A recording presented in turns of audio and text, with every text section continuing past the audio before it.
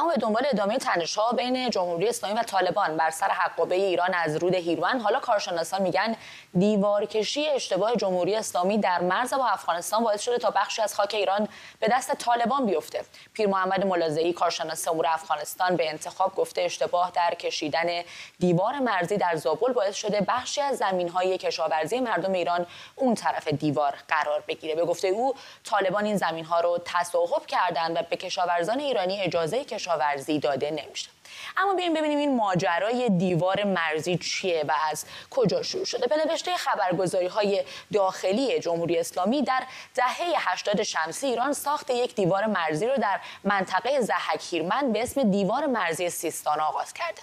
برخی خبرگزاری های داخلی طول این دیوار رو 50 و برخی 130 کیلومتر عنوان کردن. جمهوری اسلامی میگه این دیوار رو برای ایجاد امنیت و مبارزه با مهاجران غیرقانونی و قاچاق مواد مخدر و سوخت ساخته. همینطور که در نقشه می‌بینید این دیوار به فاصله چند کیلومتر از مرز دو کشور و درون خاک ایران ساخته شده. به گفته این مسئولان جهاد کشاورزی سیستان و بلوچستان خطای محاسباتی در ساخت این دیوار باعث شده حدود 2000 هکتار زمین کشاورزی ایران بین این دیوار و مرز بین المللی دو کشور قرار بگیره. دنیای اقتصاد خرداد امسال به نقل از شهریار حیدری عضو کمیسیون امنیت ملی مجلس نوشت حدود 5500 هکتار از زمین‌های کشاورزی مردم ایران پشت این دیوار قرار داره. این اشتباه محاسباتی باعث شده کشاورزای ایرانی مجبور بشن هر بار برای دسترسی به زمین‌هاشون از کارت تردد استفاده کنن. جمعیتی که الان حاکم شدن در ولایت نیمروز اطلاعات کاملی از حوزه مرز ندارن که ما این زمین های پشت دیوار زمین های جمهوری اسلامی ایران هست و نقطه صفر مرزی خط القهر رودخانه نقطه صفر مرزی است.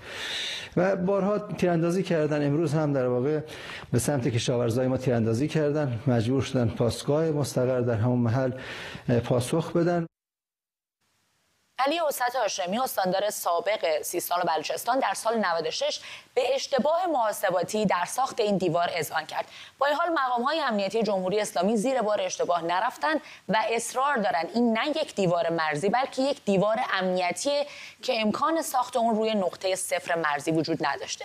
از سال 1400 و با روی کار آمدن دوباره طالبان کشاورزان ایرانی برای سر زدن به زمین‌هاشون با مشکلات زیادی روبرو روزنامه همشهری به نقل از این کشاورزان نوشته گرفتن کارت تردد برای سرکشی به زمین‌ها و همینطور گرفتن اجازه از مرزبانی برای عبور تراکتورها از این دیوار کشاورزی رو براشون بسیار سخت کرده و نگرانند که حق مالکیت خودشون رو بر زمین‌هاشون از دست بدن. حبیب الله دهمرده نماینده زابل هم پیشتر این رو تایید کرده بود.